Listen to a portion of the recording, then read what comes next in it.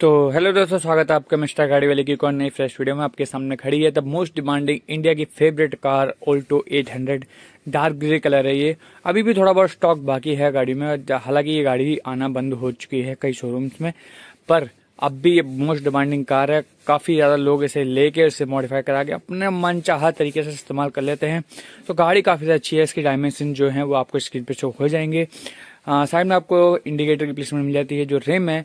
उसकी tyre section की बात करेंगे तो आपको मिल जाता है।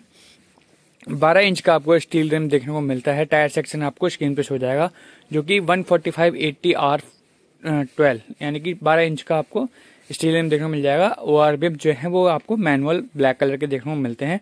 सिंपल सोबर ये गाड़ी है। ज़्यादा बेसिक फीचर आपको इसके अंदर मिलते हैं। ज़्यादा हाईफाई आपको फीचर नहीं मिलेंगे। आ, रेयर की बात करेंगे तो रेयर में सारा का सारा जो टेल लाइट का कॉन्सेप्ट रहेगा वो आपका बल्ब्स में रहेगा। ओल्टो की बैजिंग आपको मिल जाएगी सेंटर में आपको सुजुकी को लोगो आपको मिल जाता है। कोई भी डी वगैरह आपको नहीं मिलता ग्लास पे, और यहाँ पे साइड में आपको बूट ओपन करने के लिए भी आपको हाइड्रोलिक्स दिए गए हैं, इतनी छोटी सी गाड़ी के अंदर, और आपको पार्किंग सेंसर वगैरह आपको इस गाड़ी के अंदर मिल जाते हैं। फ्यूल लेट आपको साइड दी गई है, और गाड़ी का जो ओवरऑल लुक है, वो काफ़ी अच्छा आपको मिलता है। आप चलते हैं इंटीरियर की तरफ़ और दिखाते हैं आपको इंटीरियर में और क्या क्या देखने को मिल जाता है। तो बात करते हैं पहले डोर की। तो जैसे ही अपना अपना डोर ओपन करेंगे तो बॉडी कलर डोर हैंडल्स आपको मिल जाते हैं। डुअल टोन देने की कोशिश की गई है। डोर्स पे आपको कुछ भी देखने को नहीं मिलता। स्पीकर की प्लेसमेंट आपको देखने को मिल जाती है। और यहाँ पे पावर विंडोज़ के बटन आपको यहाँ इस साइड पे सेंटर में देखने को मिल जाते हैं। सीट जो है वो आपको फैब्रिक में मिल जाती है। इंटीरियर आपको डुअल टोन देखने को मिलता है। तो ओवरऑल डिज़ाइन कुछ इस तरीके का आपको मिलता है, जो कि काफ़ी ज़्यादा अच्छा लगता है। ये डुअल टोन फिनिश देने की जो कोशिश की गई है, उससे काफ़ी ज़्यादा अच्छा सा लुक निकल के आ जाता है। तो देखने में काफ़ी ज़्यादा अच्छी लगती है और काफ़ी ज़्यादा पसंद भी इसलिए आती है लोगों को। तो अब चलते हैं इंटीरियर की तरफ़ और दिखाते हैं आपको इंटीरियर में और क्या क्या देखने को मिल जाता है। यहाँ पर आपको हेडलाइट लेवलर का आपको ऑप्शन देखने को मिल जाएगा नीचे।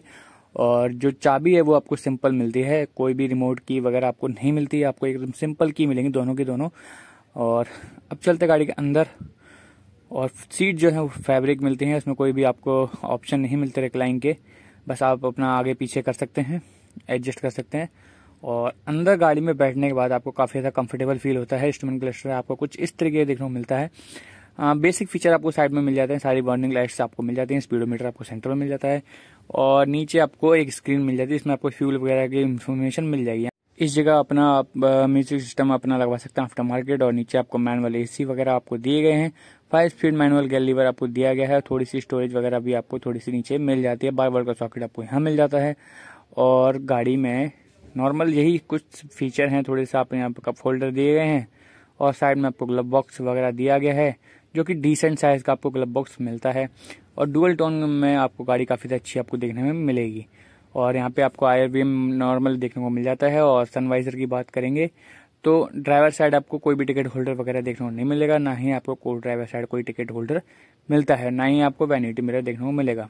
तो ओवरऑल गाड़ी की तो बात यही होगी, जो सीट्स कंफर्टेबल हैं, वो काफ़ी ज़्यादा कुछ नहीं आपको मिलती हैं, काफ़ी ज़्यादा कंफर्टेबल सीट्स आपको मिलेंगी। अब चलते गाड़ी के रेयर में और दिखाते हैं आपको रेयर में और कैसे क्या देखने को मिलता है।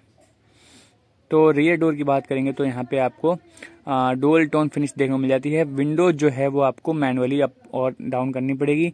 और सिल्वर डोर हैंडल आपको मिल जाते हैं। गाड़ी के अंदर बैठ के दिखाते हैं कि कितना क्या कंफर्ट आपको मिलता है। मेरी हाइट छः फीट और छः फीट भी होने के बाद भी मेरे पास स्पेस तो नहीं बचता, पर फिर भी मैं काफ़ी ज़्यादा कंफर्टेबल बैठा हूँ, जो सीट है वो बिल्कुल पीछे कर रखी है। तब भी अच्छा खासा स्पेस आपको देखने को मिल जाता है। जो अंदर साइड सपोर्ट है वो भी काफ़ी ज़्यादा अच्छा आपको मिल जाता है। तो तीन जन आराम से बैठ जाएँगे। रियर से कुछ इस तरीके का दिखाई देता है इंटीरियर का लुक अब चलते गाड़ी के रेयर में और दिखाते हैं आपको बूट स्पेस कितना क्या आपको देखने को मिल जाता है। तो बूट कैपेसिटी जो है वो मैं आपको स्क्रीन पे शो कर दूँगा। तो बूट की बात करेंगे तो आपको डिसेंट साइज़ का बूट आपको मिल जाता है। दो तीन बैग आराम से आ जाएँगे, कोई दिक्कत परेशानी वाली बात नहीं है, कोई आपको पार्सल ट्रे वगैरह नहीं मिलेगी देखने को। और अच्छा खासा बूट स्पेस आपको मिल जाता है। और इसमें आपके दो तीन बैग आराम से आएँगे। स्पेयर टायर आपको इसके नीचे देखने को मिल जाता है, जो कि आपका सेम ही साइज़ का रहेगा।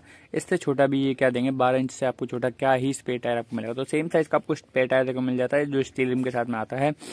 और सी एट के इसके अंदर टायर्स देखने मिल जाते हैं और वीडियो चैनल पर नहीं आ पा रही, उसके लिए आप माफ़ी चाहते हैं क्योंकि कुछ रीजंस हैं, उसके वजह से आपको डे टू डे वीडियोस नहीं मिल पा रही हैं।